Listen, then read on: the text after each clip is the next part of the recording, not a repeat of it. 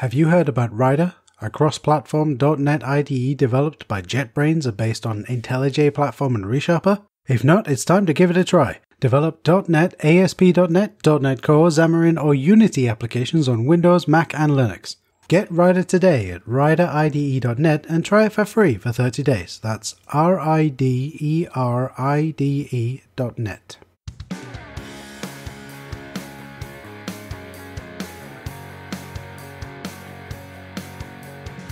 Hello, everyone, and welcome to the .NET Core podcast, the only podcast which is devoted to .NET Core, ASP.NET Core, EF Core, SignalR, and not forgetting the .NET Core community itself. I am your host, Jamie GaProgMan Taylor, and this is episode 31 The Liberal Arts and Leveling Up Your Career with Thomas Betts. In this episode, I interviewed Thomas about some of the ways that you can use the teaching of the liberal arts to enhance your career and make you a better communicator. We also discuss some of the things that you should talk about with your customers when they want you to use a new and untested technology for their next mission critical application. Some of you may know Thomas from his work at InfoQ as lead editor of the Architecture and Design Queue or his work at IHS Markit. My thanks go out to Arlene Andrews for helping to set up this interview with Thomas. So let's sit back, open up a terminal, type in .NET New Podcast, and let the show begin.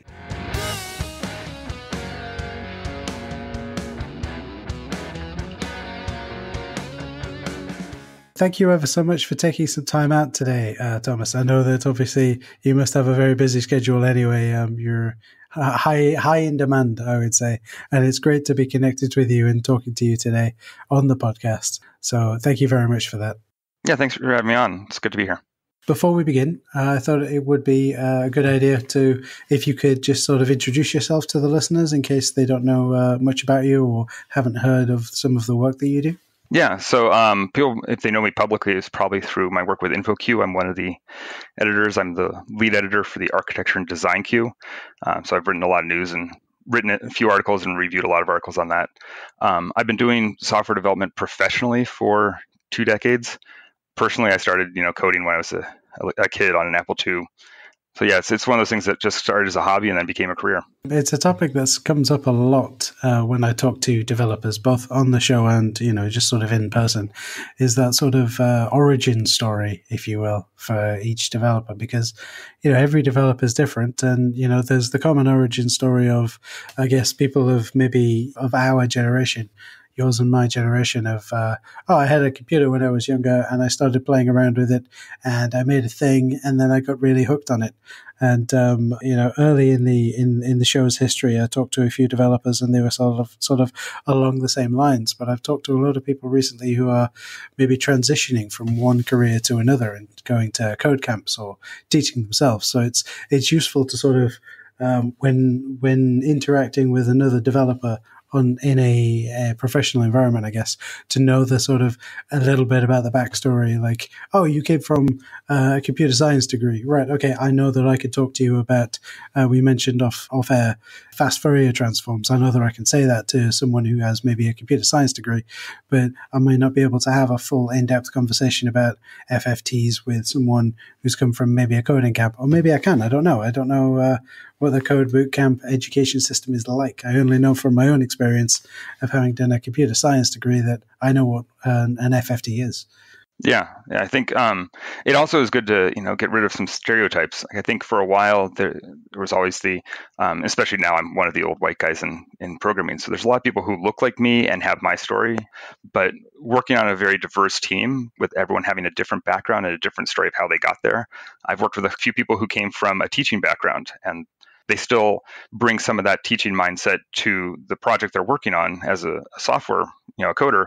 Um, and so they're always wanting to learn more and they want to help other people grow and that i think helps boost the team.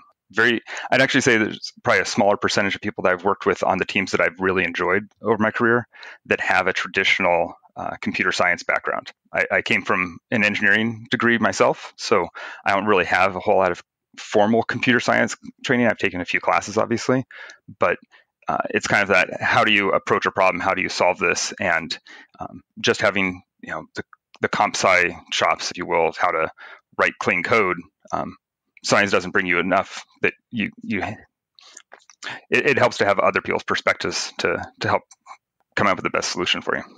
Definitely, definitely. And I think I was saying this to uh, someone on an earlier episode about how, um, you know, your solution to a problem may be slightly different to my solution to the same problem, but they are both equally valid as long as they solve the problem. And, you know, I can learn from your solution um, maybe a new technique or a, a different way to use a sort of pattern or anything like that. So it's it's it's incredibly useful to exchange that information. I think to say, oh, cool. So you've written FizzBuzz in this way. Well, I wrote it this way, and let's look at the differences. Not in a critical way, but in a let's see what I can learn from you, and you know, not trying to be presumptuous or anything. Maybe there, there might be something you can learn from me. You know, it's all about sharing that knowledge. Yeah, I like the idea of uh, egoless programming. That you know, let's let's talk about the code together because we can we can both understand that, and let's talk about that, and let's talk about the problem at hand, um, and get away from well, you're not a good programmer because you didn't write it my way. So yeah, it's good to mm. good to do things differently. Definitely, and um, you know that links into something that we were chatting about off air just earlier um, when we were talking about how um, a recent blog article that you'd written about uh, how liberal arts can help, uh, liberal arts education, I believe it was, can help uh, engineers to break a problem down. And I, would said that, you know, the UK education system is completely different to the American one in that, you know, we don't tend when we're at university or college level, sort of we we tend to pick a curriculum to study. So I did I studied computer science, so my degree is computer science. I don't have a major or a minor. I guess I do have a minor because I studied Japanese language at the same time. Whereas I believe in the in the US, when you go to college, you have to pick a major and a minor, and you know you work towards a I will have a bachelor of science in. Is that kind of the case? Yeah. So I mean, it's different from some universities in the U.S., but a lot of them do have you know a bachelor of arts or a bachelor bachelor of science, and then there's um, certain degrees like mine that is a bachelor of science in mechanical engineering. So that's different than a bachelor of science with a major in mechanical engineering, but it's a subtle difference. Um, I think what I was really trying to express in that article was the idea that you can be a good programmer and you can be a, a good software engineer because you need to have those ideas of how do I write code. Uh, it's good to know different languages. It's good to know different architectural patterns, but there's a lot to solving a problem and writing good software and software that people want to use that traditional hardcore computer science doesn't teach you. You know, in in the U.S. we have a big push right now for STEM education: science, technology, engineering, and mathematics. And people are saying, "Oh, we need to get more kids to to go into that, so we have them prepared to do these high tech careers." Um, and it's almost come at a detriment to the, the arts, the you know studying of the the liberal arts in general, which covers you know not so much I'm going to go to school to study computer science so I can be a programmer, or I'm going to study biology so I can go and be a scientist. Um, liberal arts is kind of the what does it take to become a good contributing member to the free society that we live in? How how are you able to interact with other people? How can we teach people to have empathy and um, understand someone else's perspective and realize that everything you know isn't the scope of everything that there is to know. It's a lot of understanding your audience. So if I'm talking to you and talking to your listeners on your show, that are probably a technical audience, we can engage in those technical topics. But if I'm going to a conference and presenting, and it's a broader audience and it's not just technical people, I'm probably not going to use the same technical language. Uh, same thing if you're writing an article and you want to have just technical people read it. And that applies throughout everything you do in life. If you're writing software, you're not writing that software for other computer programmers to use. You usually have customers, and being able to understand them and realize how they're going to use the software makes you write better software, makes you be better at testing it, makes you work better on a team because you're all on that same goal of what is it that's going to delight our customer? That's going to make them want to come back and keep using our software every day. Most definitely, most definitely, and I think um, the same can be said when talking to um, any kind of non-technical person, whether that's a customer or a family member or someone in the street. Although what you're doing talking to people in the street about programming, I'm not sure, but you know, the the same thing can be said. I guess you need to kind of and I don't want this to sound condescending at all, because we all have different experiences and backgrounds. You need to find the sort of uh, the common language that fits with your background and your target audience's background, I guess, and speak to that rather than, you know, like I said earlier on, I mentioned fast Fourier transforms. If I'm standing in a room full of healthcare professionals talking about how I'm using that to help their system do something, maybe it's an ultrasound or something, then, you know, they're not going to want to know about the nuts and bolts of how I've done that, how I've implemented an FFT in uh-huh. C sharp or in F sharp. They want to know how do I use the thing, you know, to get the data that I need to make the decision that needs to be made for this specific situation, you know. And I think you're right. I think it's it's something that's lacking from, especially from the the current push. Uh, we have a similar push in the UK. Um, they're, they're, saying that every every child under the age of 16 needs to learn how to program uh, and to write code because um, and then they sort of ditch out the sentence very quickly. I mean, it's a it's a valuable skill to have, most definitely, but I don't think it's for everyone. I mean, I worked as a teacher for a little while, and um, I did run some sort of after school classes for people to to learn how to code and you know, maybe it was because it was after school. So we're talking 4 p.m., you know, and they've had a full day of right. being at school and they've decided, I actually, I want to go home and relax now. So trying to force people to do that, even when they've elected to do it, is hard. So like forcing people to do it when they don't want to do it, mm, I'm not so sure. No, it's one of those things that can almost be, you know, counterintuitive to get people to, to think differently. In fact, I was just reading this morning there was a New York Times Magazine article about Rick Steves, who's a travel guide. He's on PBS out here. Um, he's been talking about traveling to Europe for 20 years, taking people to Europe. Um, and has a whole following. People read his books and watch his TV shows. And the the premise of the article is to become a better American, you need to go to Europe. That if you are the type of person who just wants to, you know, stay in American hotels and your idea of a great vacation is always going to Disney World, you really need to step outside your comfort zone and see the other people and how other things are. You'll have a better appreciation for your life and it'll make you want to go and meet other people, you know, kind of get out of your own bubble.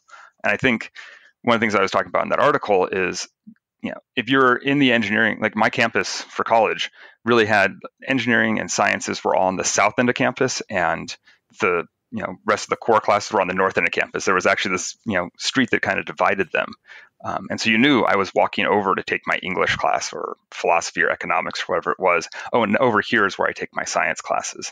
You kind of acknowledge that you're going into this different world, and I don't think there should be such a hard line. Like all those skills you learn in one subject can carry over to the other one, even if it's not obvious to how you're going to use it. And being able to expose yourself to that and find other opportunities to learn things that are outside of your technical field. Like it's easier for a developer to say, "Oh, I want to learn F sharp because it sounds really cool," and I think there's times when I could, you know, benefit from using functional programming paradigms as opposed to object-oriented paradigms. Um, so I'm going to go off and learn F sharp. It's much harder for someone to say, "I want to spend, you know, a week taking a class in poetry or you know philosophy like how does that affect my day-to-day job as a, a software programmer? And in, in, fact it usually does. Like you'll get some insight.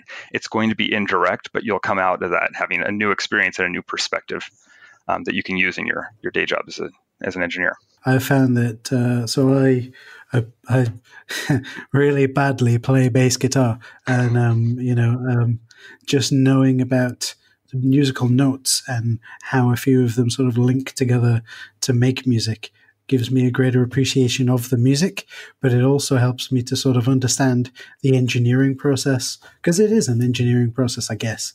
Uh, maybe I'm thinking about it from an engineering perspective, but the engineering process of writing a song or coming up with a melody or recording something, you know, uh, when I'm thinking about recording something that I've written, I have to think, right, okay, I have these modules and I plug them together. There's an interface. And, you know, so my bass guitar doesn't connect directly to the computer. It uses dependency injection, uh, the inversion of control, sorry, to connect to a DAW, a digital audio workstation, which knows how to connect to the computer. And it converts all of this stuff for me in the same way that a lamp uses inversion of control to plug into the socket in the wall rather than wiring it directly into your electricals in your house but then that's because I'm an engineer, you know. So I'm seeing it from these weird points of view, but I can understand why they exist. Yeah, I think uh, you know we speak in metaphors in day to day life all the time. It's complicated to understand some new concept, so I'm going to use a concept that everyone does understand that's different, but it at least says, oh, I understand how that works, and this is kind of like that. One that comes up a lot. Um, we were using a uh, the metaphor of ordering coffee to be asynchronous and message driven programming that you walk into Starbucks, wherever the coffee shop is, and you place your order and they write on the cup what drink you want. And then you stand back and wait for someone else to pick up that cup. They read the message on it. They say, oh, I'm supposed to make this, you know, latte with a shot of caramel in it. And they go through the process and put it through to the end and then they raise an event that says hey this coffee for thomas is now ready and they set it on the counter and i respond to the event and pick it up. And you know i wouldn't explain event driven architecture to a layman outside of software engineering but i can talk to them about ordering a drink at starbucks and they get that. And then i say that's how our software works. Oh okay. And you have the, that understanding. I have to say i really like that coffee metaphor. I really like it. I may have to steal that someone did a lightning talk at Explore DDD one or two years ago. I think it's available online. I don't know if they came up with it or they just shared it, but it was it's always stuck in my head. It's a great simple way to talk about how communication is one of those things that humans do all the time and we talk about software as having all these complex communication patterns and oh I have microservices and they've got to be better than my monolith, right? Well, have you just introduced a different communication problem because you have all these things that are trying to talk to each other? What if you were in a crowded room and everyone's trying to communicate? Is that more chaotic than only one way for the messages to go through the system? So, stepping back from the software to think about how would this be modeled in the real world is sometimes a really good exercise. I like that.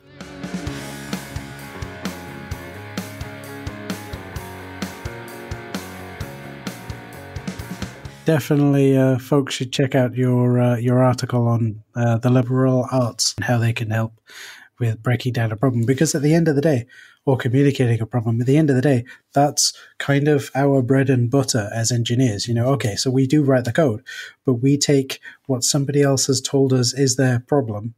We create a solution. We communicate with that person the solution we have we are going to create. We agree on that and then we translate that into code for the computer. So we're almost like we're acting almost like a translator. So yeah, you need to be able to sort of context switch. Uh, I don't think context switch is the correct word there, but being able to sort of go, okay, for you, the business owner, the project manager, the problem domain person, you have the expert knowledge of that and I'm going to converse with you and figure out how we're going to solve this. I'm then going to go away and create forms over data, but I'm not going to tell you that. And I'm going to use messaging systems or I'm going to use whatever tools I have but I'm not going to tell you about the tools that I'm going to use. I'm going to tell you the information you need to know to understand it. As with your example there about the coffee shop, I don't want to tell you about microservices and message queues and retries and all this kind of stuff because it's way too complex. But if I can tell you, like you say, hey, you go into a coffee shop, you order a coffee, this is what you do, this is how our software works, that's all you need to know. And then I translate that into code for the system. Yeah. And I think that gets to, I think what started this conversation between you and me when we first started getting connected was you know, using .NET Core in the early days. How do you convince you know the, the business people involved that hey, we're going to try out this brand new technology because it has all these advantages. Um, and if you go too much into the well, it's it's a different framework and it's got all these you know t- they don't care about that you know, signs it is back it up into the economics, like, oh, we're going to save money, or we're going to be able to do containerization, and that's going to be great. Well, why would I want to do containerization? What what does that mean for me as a business?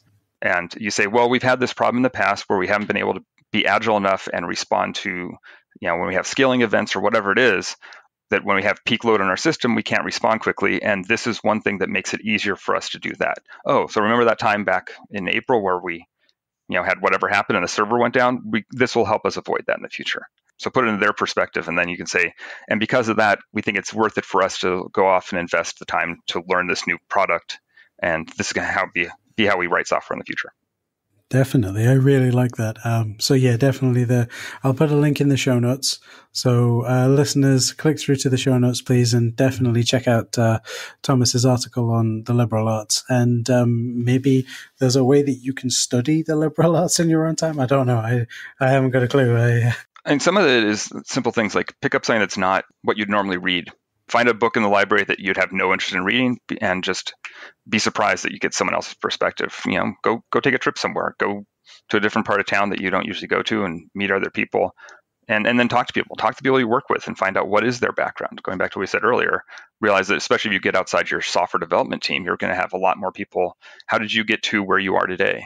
And having that you know learning about empathy and learning about just other people's background um, some of that is those you know intangible stuff. And then if you want to you know find a community college and and take a course that says hey i want to study you know russian literature or something really random um, just because it's often the you know a different part of your brain. I know that I mentioned uh, playing bass earlier on, but uh, I think that uh, learning a different language whilst I was at university helped as mm-hmm. well.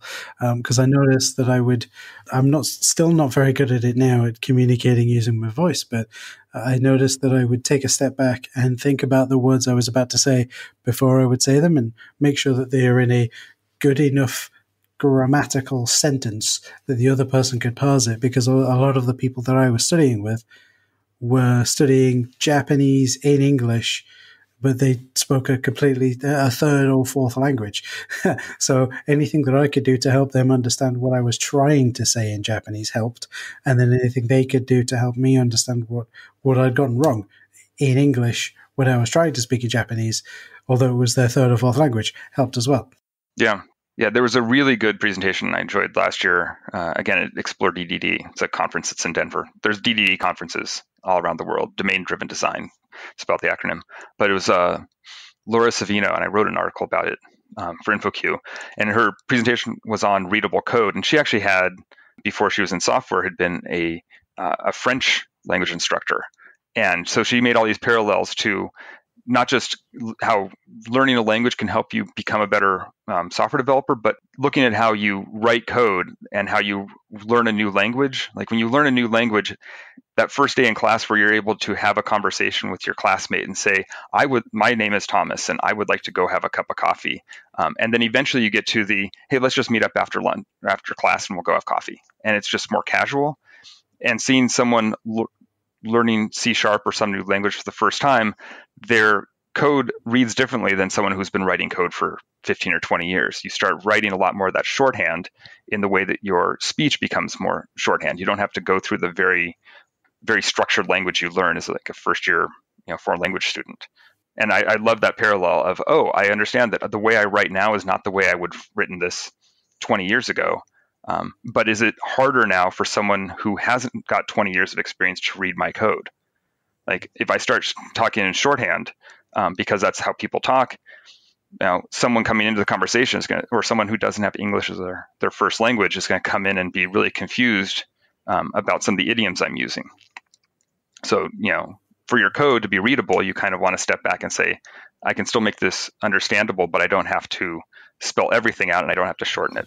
There's a happy medium in there. I like that. Um, it's almost like uh, I guess you could compare it to informal language and formal language, I guess. So when you're first studying a foreign language, you're actually learning the formal version of it. At least if you go to a, a class, take a course, go to a college or something, you're learning the formal version, the proper version, as it were. Right. The all of the grammatical constructs and making sure you're not if you like if you study English, you have to learn to not split infinitives mm-hmm. or, or things like that, making sure that the right adjectives are used and your sentence structure is correct. But then, like you say, in 10 years' time, you can be throwing out sentences that don't make no sense. Mm-hmm.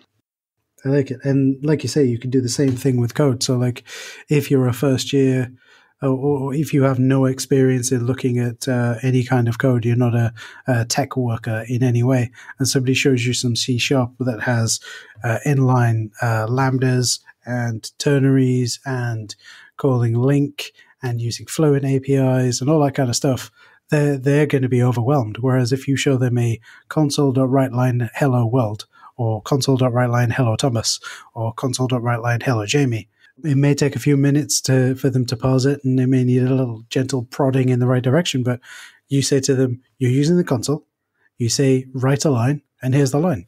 Whereas, you know, you're not having to do loads of crazy stuff around it. But then maybe in 10 years' time, you're used to writing huge enterprise apps. So then you write the Hello World enterprise version that has dependency injection and it has unit tests and it has all sorts of crazy things. It, there is a big difference there. And I think you're, you're definitely right. Yeah.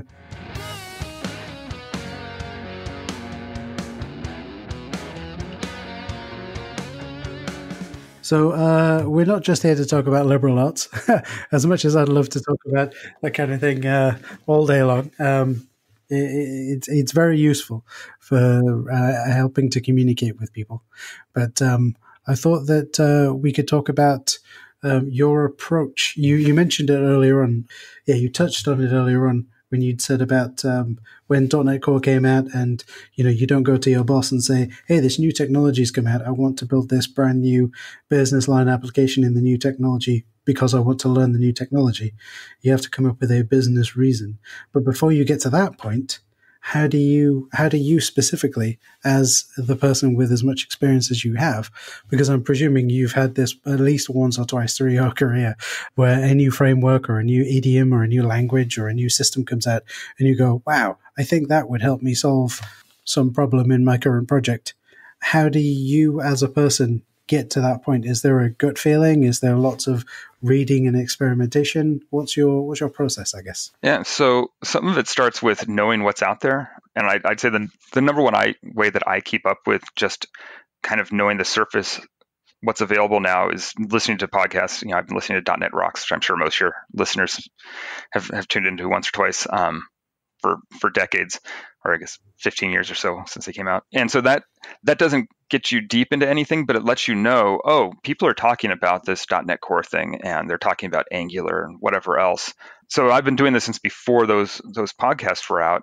Um, I've been lucky enough to have at different times in my career been around other people who would also go off and explore things and try new stuff. And everyone was curious. And if you're in a culture of that curiosity, people will go off and find little bits of new things like, oh, I heard this this new .NET thing's coming out. It's still in beta. Let's try and write, you know, the hello world or do some little sample app just to see what it's like. With .NET Core, I think when we started on our project about two years ago, I think .NET Core, ASP.NET Core 1.0 was out. .NET Standard hadn't yet really been announced.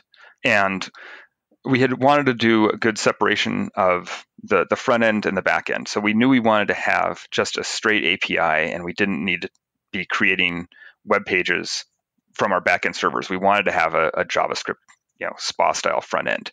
And so that already had us go to, well, which of the JavaScript frameworks do we want to play with? And I had a little bit of experience with Angular 1x. And so Angular 2, while completely different, is still familiar enough.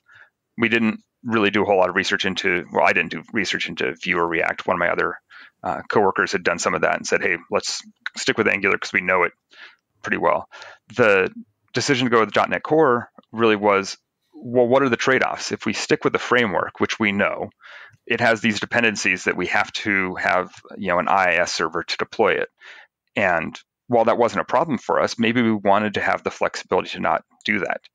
I think the early days of .NET Core, you didn't have everything you needed. It's gotten a lot easier over the years, and some of it was, I guess, gut feel um, of Microsoft seemed to be pretty committed to this path and um, was encouraging people to go down this path for doing future development. And especially after .NET Standard got you know announced, saying, "Hey, if you write stuff that is compatible with .NET Standard, then anybody who's on the standard can consume your library, that made it a little easier to say, oh, there's going to be future improvements. So if we go down this path and we keep updating it on a regular cadence, then we'll get those features that might not be there day one.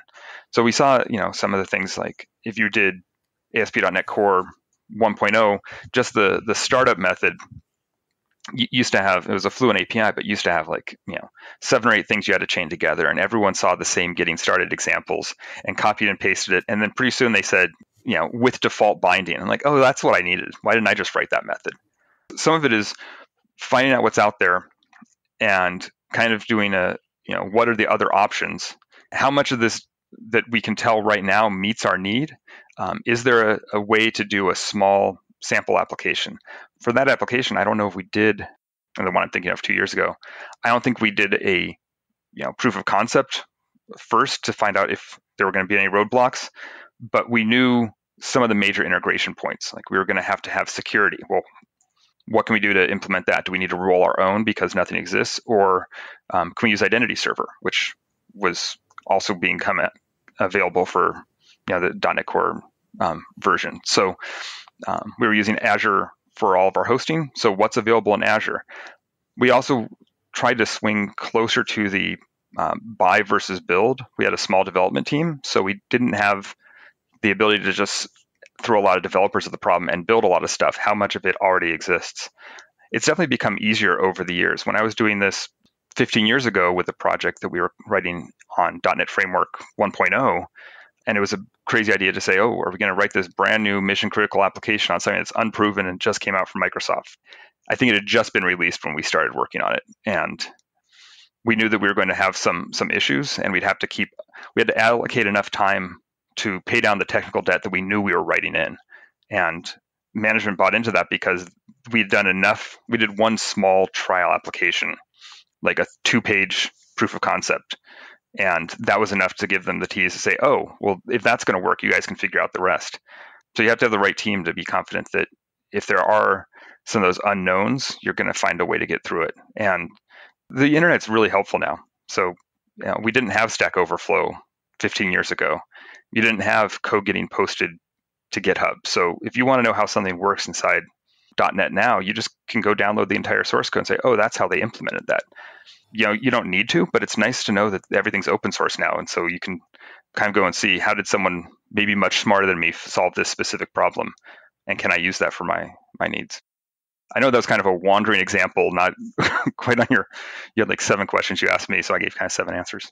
No, that's that's absolutely fine. That covers a whole bunch of stuff because, uh, like you say, there's there's there's no quick answer to that question, and um, there's no real way to go. Right? Yes, let's use this technology that no one's used without knowing it's around. So, uh, for instance, one of the things that I do is I, uh, I help to manage a bunch of uh, WordPress based sites. Now, I don't know the first thing about PHP or WordPress, really. I don't tell my uh, the people that I help out that. no one will hear this. Exactly. Um, but, uh, you know, what I do to get an idea of things that are coming up in the WordPress and PHP community is I, you know, I go to PHP meetups in my area just so that I can sort of ask silly, what I think are silly questions because I'm the the person in the room who hasn't got a clue. But then I'm also learning about the new versions of things that are coming out, or don't use this particular method or function. And you know, if you're going to do this particular thing, let's say you're having to access the database, you know, it sounds silly to have to say it, but you know, there have been times when I've been sat at this meetup where someone will say, "For goodness sake, sanitize your input. Don't just." write inline SQL queries because someone will SQL inject your your attack your website, you know, and, and just knowing that other people need to know this, that, you know, there isn't a, I mean, there isn't a, a default way to protect against that in any language or framework, but knowing that, you know, other people are, have these issues uh, kind of helps you to think, oh, right, okay, so this is an issue on in PHP as well, or this is an issue. I mean, I can't even imagine if we had to write a RESTful API web service that was a microservice that dealt with asynchronous calls in C++. Mm-hmm. you know, but knowing that, that there are libraries, that are that there are languages, there are other systems around that you can use, kind of helps, I guess. Yeah, and I think you know you kind of touched on the idea of going to meetups um, and talking to other people. You, you almost have to get over that fear of, well, I'm going to sound stupid. Well, the only reason you sound smart is because you know things about one specific domain, but there's a lot that you don't know about a lot of other stuff. Um, and everyone was just as stupid at some point the answer is always obvious once you know what the answer is.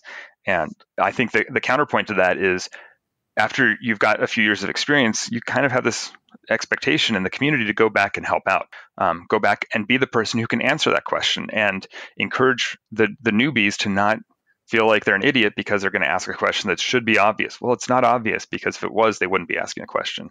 And again, that kind of goes back to the idea of empathy. Like, put yourself in their shoes. Like, you only know it because you know it now, but you know a year ago, two years ago, I wouldn't have known anything about .NET Core, and the, you know I can now give the explanation of well, I'm confused between .NET Core and .NET Standard. What do those two things mean?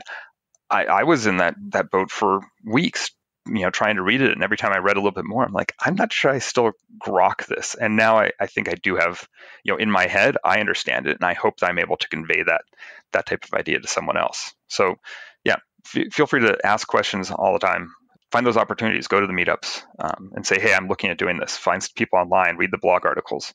Um, you know, keep keep learning. Definitely. Um, I believe that it was uh, Clare Sudbery on uh, .NET Rocks not too long ago. Actually, it said that there is no such thing as a stupid question for the same reasons that you've just said there. You know, if you're not born with the knowledge ingrained, then you're not going to know what it is.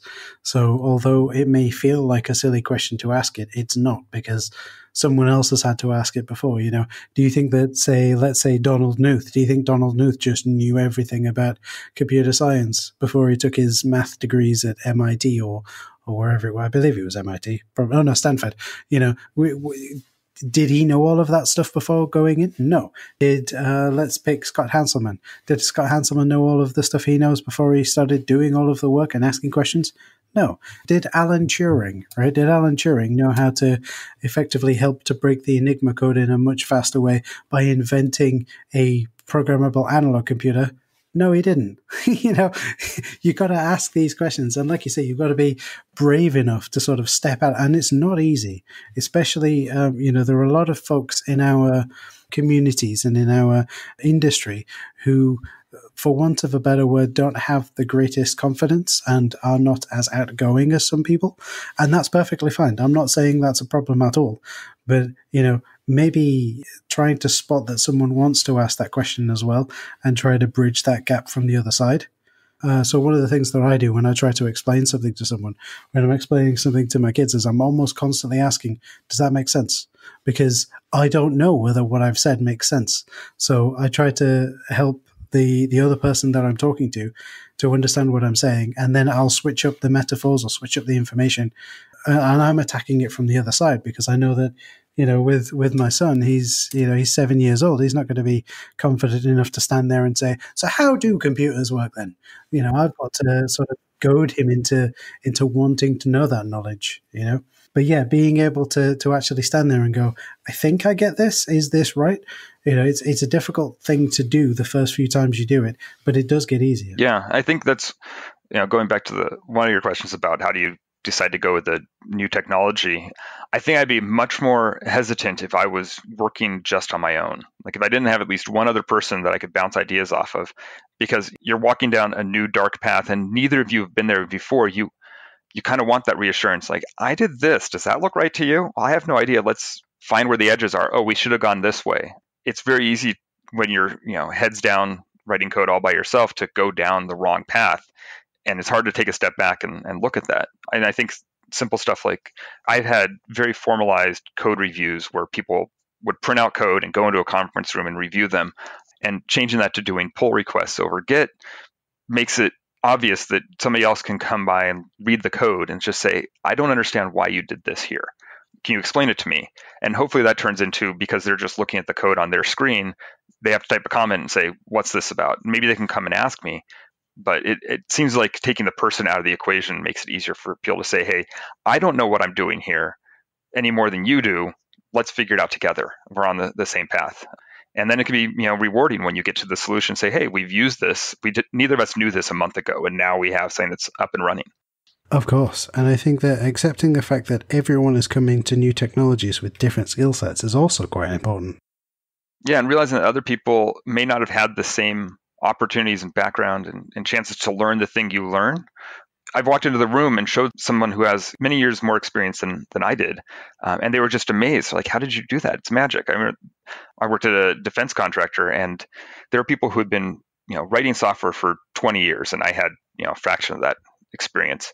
And but I knew .NET, I knew WinForms, and their idea of writing a Windows application was frightening because well, I had to you know write it in C++ and I had to design like where is the box and how big is the window and they had to write all the click handlers. I'm like, no, I just you know create new WinForms app and I drop this button on there and they're like, wow, it's amazing. And and you know creating a Windows application in the meeting to show them it's really this easy. And they thought it was going to be weeks worth of work just to get started because they had never had to do that before. They had no reason to do it. In their background, it wasn't they were stupid they were very smart people. They just had no reason to go off and explore or no opportunities to to go off and explore what had changed since the, the time when they had to make a decision five years earlier of what they were going to do. And so some of that bias you know can linger around. That's why i think it's important to always you know be that lifelong learner and find out where what don't you know and what should you be you know keeping up on even if you're not using it every day just to be aware that something else is happening. I personally think that there's a world of difference between someone who spends 10 years working but also looking into new technologies versus someone who does exactly the same thing for 10 years. One, one year of experience 10 times is the way i like to say that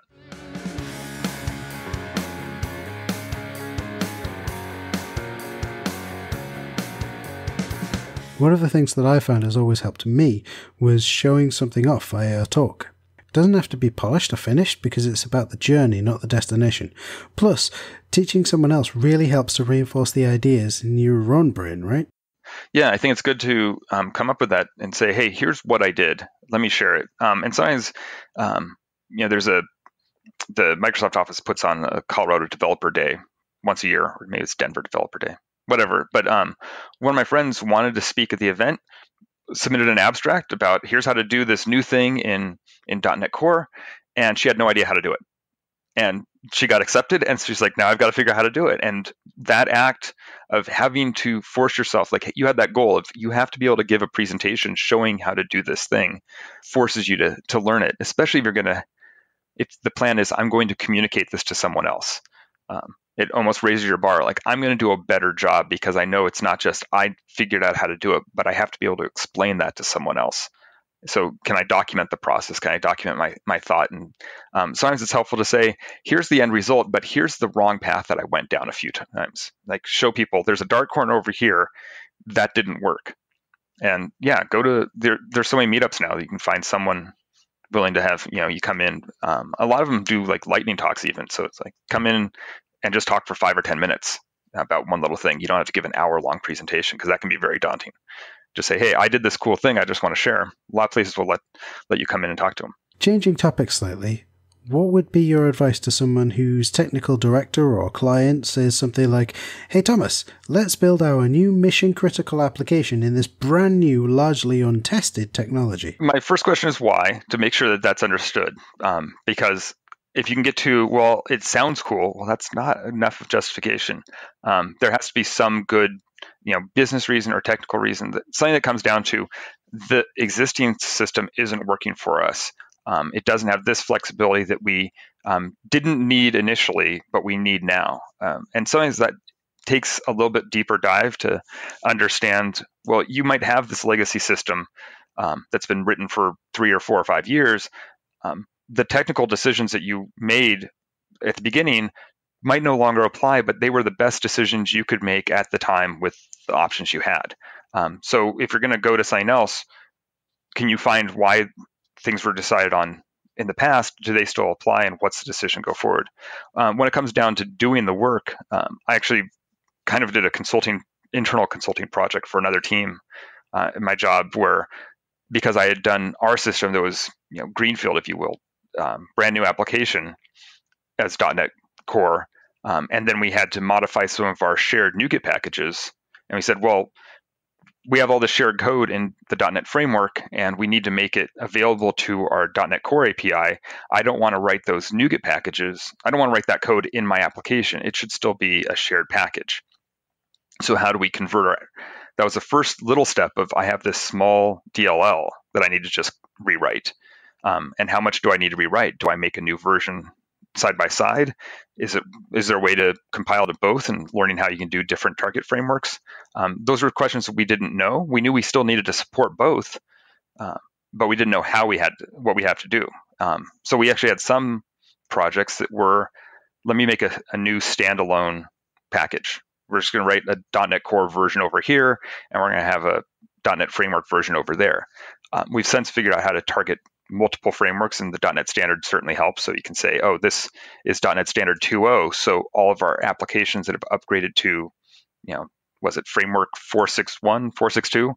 They can just use it. It's fine. Um, but we had some applications that still needed the old version, and so you know we had to fork repos to keep that old version alive on the old version of the framework as long as possible. But we're trying to migrate our application so we don't have to keep supporting all of that legacy code. Um, when it came time to you know look at the entire API platform and say, well, can we upgrade this entire system from you know, I think it was ASP.NET MVC to ASP.NET Core? Uh, I, I basically just branched the the whole repo and and changed the you know threw out the the CS proj files and created new ones and brought all the code in and look what broke. Um, and I spent you know a couple days just kind of going through, not fixing anything, but finding out what were all the, the code errors. Because you got you know 500 comp- compilation errors but there were like five or six different classes of compilation errors. And so just kind of getting that surface area of how much work is this going to be and is it impossible? Is it just hard or is it easy to solve? Um, and for some of those it there was an obvious answer oh we've already solved that. We have to rewrite our our startup to be a .NET Core startup as opposed to an MVC startup that that was obvious. Um, Entity Framework was one that was a, definitely a challenge. There was a lot of legacy or a lot of Entity Framework six code in the legacy app that used the the model to to recreate everything. Well, you didn't have uh, was an EDMX file. You don't have the the visual designer in EF Core. And I think if we had tried that same project, that same conversion six months earlier, it it probably would have been impossible. But because we waited long enough, EF Core now had enough support of the things we needed to do. Um, but we kept finding edge cases, and we found where we didn't have full unit test coverage. And I don't like writing unit tests to do database. I guess they're integration tests, but we had to write some integration tests that would actually call a stored proc to see if we got the results back correctly in um, the EF Core path as opposed to the EF6 path. Um, and so a lot of those took, well, I can't solve all the problems, but can I go and recreate this little class of problem? Uh, Jon Skeet is really good at telling people that instead of you post, you know, your five source files to Stack Overflow and someone has to figure out, can you recreate your problem in as few lines as possible to demonstrate there is definitely this issue. This recreates my bug in five lines of code. And so I would stand up a new, you know, .NET Core console app that would um, call into our database and, and do something to see just what was going to happen. And then say oh i found this solution. Let me share that with my team. This is the pattern we need to apply going forward for this type of compilation errors and we can get past it. And i check the box and say well i figured out how to solve this. It's going to be a little different each time but now we know that there is a path across these things. But what about docker though? I mean everyone talks about how everything should be in containers right there, there's a lot of guidance that says you don't, you shouldn't upgrade your .NET framework applications, and I, I certainly would lean on the side of caution. Like we don't need to. One of the drivers for us was we knew that application. We wanted to have the option to scale it out differently. So, do we want to be able to put it into containers and doing Windows containers for IIS and setting up a, that there's so much extra overhead with that it didn't make sense to migrate off of just deploying them as Azure App Services. Like there was not enough bang for the buck. There wasn't a cost savings associated with that because the VMs you were standing up were the same price as the the app service. Um, and I like that you can kind of go into Azure and see how much is this going to cost me. Um, but uh, but we also were looking at some of the other teams that had been very successful using Docker, and for their projects, they said, well, they you know other teams had the issue of every time we got a new developer on the team how do they get their development environment up and running? And everyone's got these little quirks. And that's one place where docker can solve that issue that everyone runs the docker image locally. You know make your development environment closely mirror your production environment. Uh, so if you want to go that way, then it's nice to have the ability to compile down and run on a Linux image because that's what Docker na- natively supports. And if you want to run on Linux, then you've got to do .NET Core. And you know, does we we saw some performance improvements just because there was less overhead with some of the things we did in .NET Core, but that wasn't always the case. And some of the EF Core stuff was a little faster. Um, but we weren't doing it solely because oh we've been promised there's performance improvements. We should definitely go this way. Like there's a lot of effort it's going to take to get you know a few seconds of you know sql queries improved.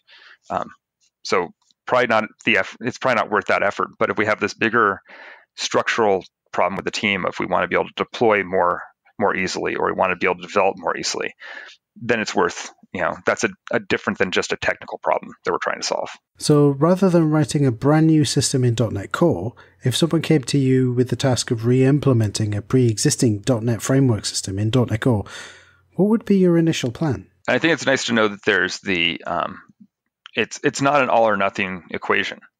Like you can, because the .NET framework is .NET standard compatible, maybe you look at saying, well, what are the things we need to move off? Um, and can we put those into the separate NuGet packages? Can we do a little bit of code, but then it's still hosted inside an, a traditional MVC .NET framework application, but those those shared libraries get moved out as, as, much as possible. And some of that's just good modular design. It's um, it makes for you know it's easier to maintain smaller pieces of code. Um, you know, testing one little uh, NuGet package, all that code should be well tested uh, because it just it does its own little thing, um, as opposed to well inside this entire application I can only do you know end to end tests. Uh, so I've I've done some of the you know it's kind of a variation on the strangler pattern that you take a bit of code, you make a, a defined interface to that code that you already have, and then the only implementation of that interface right now is the way it was called before. And you slowly build up a new version of that same bit of code in the new framework, the new way you want to do it. And I've done this with, we wanted to transition to more of a DDD style. Well, we're going to introduce DDD concepts in this little language, ubiquitous language, in this one component. Um, but the interface into the main system hasn't changed. And eventually we build up enough functionality that we can just make that switch. Um, it's one of those things that you hear people talking about doing A B testing. Like, can I start throwing code down the new path while I'm still using the old path just to see is the new path going to work? Um, and that takes a little extra effort to, to set up, but it means that eventually you can move that little bit out into its own deployable unit and you have less of a dependency, like your entire stack isn't dependent on the old framework, then maybe that bit becomes reusable in some other system that you um, are just writing from scratch. It doesn't need to do all the functionality of the old system, but you can start building a new one that is just .NET Core and doesn't need you know Windows interfaces. So, would you recommend extracting parts of functionality which maybe can't be ported to Core and using something like the Strangler pattern on them? And how would you explain that to someone who's maybe not technical? I think we mentioned this earlier that the idea of using metaphors, um, maybe Strangler is going to come across sounding pretty pretty violent. So maybe that's not the you wouldn't want to throw out that term. Um, but if we say, well, uh, yeah, I, have heard the uh, architectural pattern of doing hexagonal programming or onion architecture um, as being just something similar to going into a house that you have your your external model and you have a key to get into the house. And then once you're inside the house you might have another locked room that the people outside don't even know about. But if you came in with that second key you're allowed to go into the study. Um, and you know using this for the code metaphor well you used to just walk up and you know, you walked in and they gave you a cup of coffee because you walked into Starbucks because they knew you and you didn't have to think about it. Well, now we're going to have this um, barista cashier interface where you put in an order and they give you a cup of coffee based on what you ordered. And this, the end result is the same that you walked up and asked for a cup, you you wanted a cup of coffee, you got your cup of coffee, you're you're happy. We've added this extra step of um, you know, you have to write down that you want a cup of coffee. Okay, fine. That that doesn't really change a whole lot. Um, but behind the scenes, now I can say, I'm going to take this request for a cup of coffee and hand it to someone else. And they're going to make it and come back and give it to you. And I'm still going to hand it back to you over the counter. Eventually, we can go to that event based system where I set it there and I raise an event, and you have to go walk down five feet and pick it up from the other end of the counter. Um, I said, coffee metaphors always seem to work. there's always some way to, to come back and explain that to, to, people. I love the use of metaphor to explain something, especially your coffee shop one. Unless they drink tea. But That's true, but I think it still works because you can still understand the idea even if you don't drink coffee. Right. Yeah, the, and you can use the I'm going to put the kettle on and, you know, do I request someone to put the kettle on or do I stand there and wait while the kettle's boiling? I think you may have had that one on your show before, someone talking about making tea. Yeah, I think yesterday we had the the coffee metaphor was was played out because someone was trying to do this abstract description of I have this workflow that has tasks A, B, and C, but I want to reuse them in a different order. And so I want to create a new workflow that has B, C, and A in that order. Um, and the system was hard coded to do this follows that, follows that. How do we change it? And it got very contentious, and people couldn't come up with like they're wrapping their head around like i don't understand what you're talking about. Use your words. Um, i don't understand what is a and what's b and what's c. Like what's give me a concrete example. And uh, instead of going down the oh well i have this data ingestion platform and i want to move this data and then i want to do that like if you start talking in the actual terms people then focus on the actual implementation.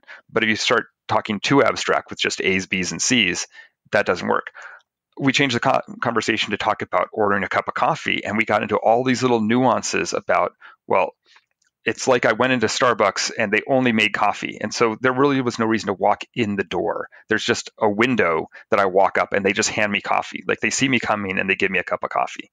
Um, and if I want a latte, well, they only make coffee. They have to make a new store that just makes lattes. And then they have to make a new store that just makes cappuccinos. And like I said, that metaphor just kept expanding. And we realized, well, we don't want to make five different types of Starbucks that only do one thing. We want to have the I can walk in and ask for something.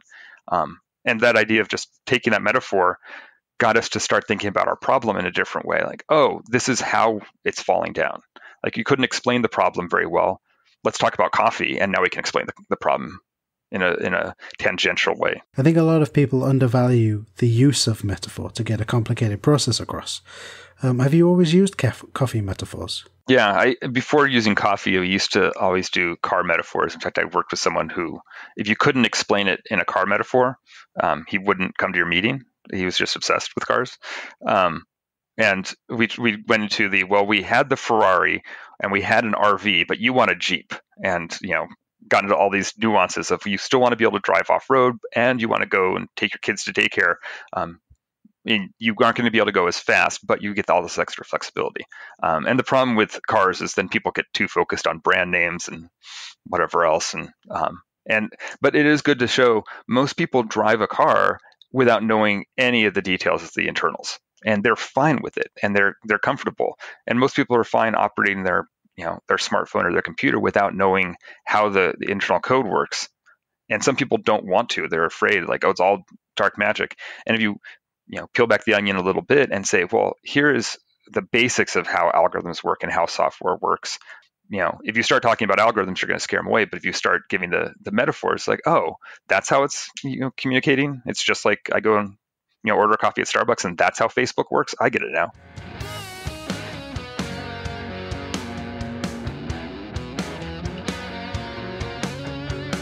There's always something new to learn in our line of business, right? Uh, for instance, in the time that we've been talking, 50 new JavaScript libraries have been created and died.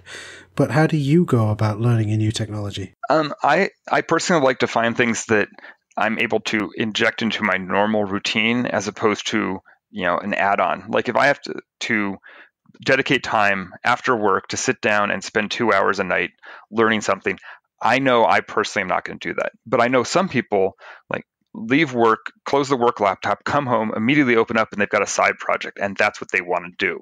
Um, so it, it, it, sometimes is a bit of being able to acknowledge what works for you. Um, I've always had a commute of some distance, so um, podcasts, since I discovered them back in like 2005, have been very useful to either put on my headphones or put it on the car, um, and just kind of absorb some of what's going on in the in the outside world. Uh, if there, are, I can give a certain small plug for InfoQ because there's always new news articles on there. Um, but find the blogs, find you know a Twitter feed that that's helpful. Um, make a Twitter list to say, oh, here are developers I want to follow, um, and kind of get exposed. And then sprinkle in other stuff. Like I a while ago added a bunch of people that I was following on Twitter that weren't just either software or straight news.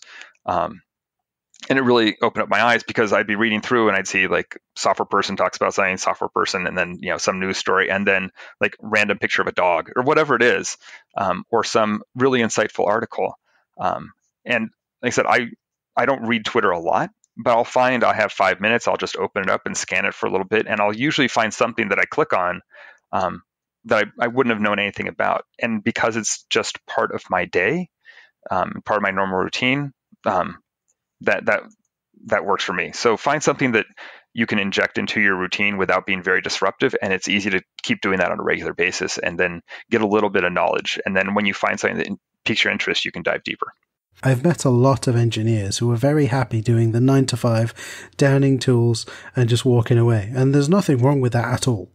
But it's always been like my personal philosophy to try and expose myself to new technologies and ways of solving problems. And it sounds like that's kind of how you feel as well. So I, I think the way I've looked at it is some people are very comfortable doing what they're doing and they're happy. And I don't want to be coming across as shaming them and saying, you're not a good person because you're not doing all this stuff.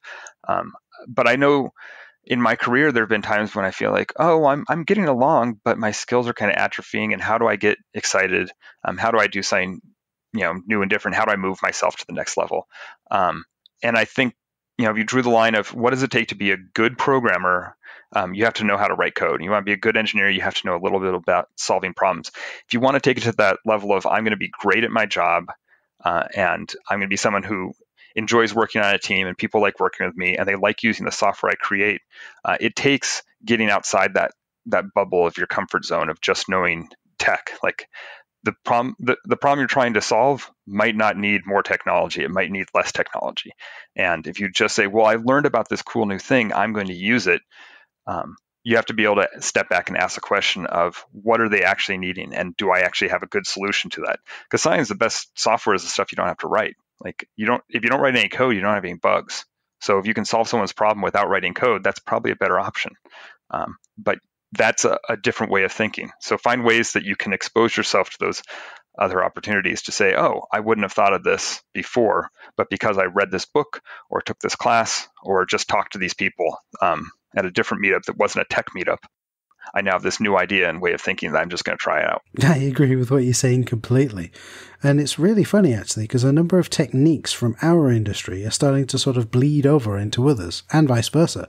So, like, I've seen teams who work in everything from banks to supermarkets who have daily stand ups, sometimes even on the shop floor.